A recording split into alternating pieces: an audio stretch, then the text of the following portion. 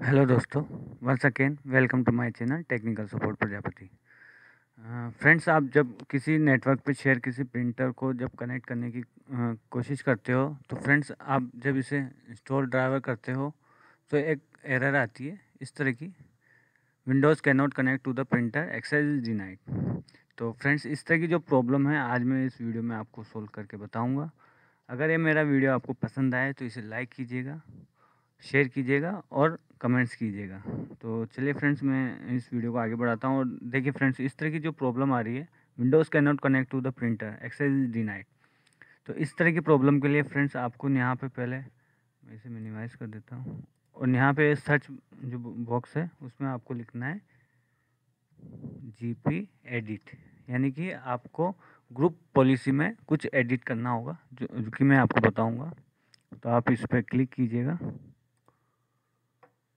इसके बाद में फ्रेंड्स आपको मैं इसे बड़ा कर लेता हूँ थोड़ा सा। तो देखिए फ्रेंड्स ये जो विंडोज़ एडमिनिस्ट्रेटिव टेम्पलेट्स है, इस पर आप क्लिक कीजिए। इसके बाद में फ्रेंड्स आपको प्रिंटर्स पे क्लिक करना है। ठीक है फ्रेंड्स उसके बाद में फ्रेंड्स आपको यहाँ पे जो पॉइंट्स एंड प्रिंट्स रेस्ट्रिक्शंस है, इस पर आपको डबल क्लिक करना है। ये इस तरह का यहाँ पे विंडोज़ ओपन होगी। आपको ये जो नोट कॉन्फ़िगर नोट कॉन्फ़िगर्ड है, इसको आप डिसेबल पे टिक कर दीजिएगा। उसके बाद में फ्रेंड्स आप इसे अप्लाई कीजिएगा और इसे ओके कीजिएगा।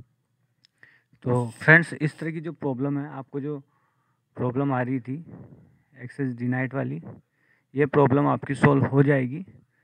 अगर फ्रेंड्स इस वीडियो से आपको हेल्प मिलती है और आपकी प्रॉब्लम सॉल्व होती है तो फ्रेंड्स इसे मेरे चैनल को सब्सक्राइब कीजिएगा और इस वीडियो को लाइक और शेयर कीजिएगा। Thanks for watching my videos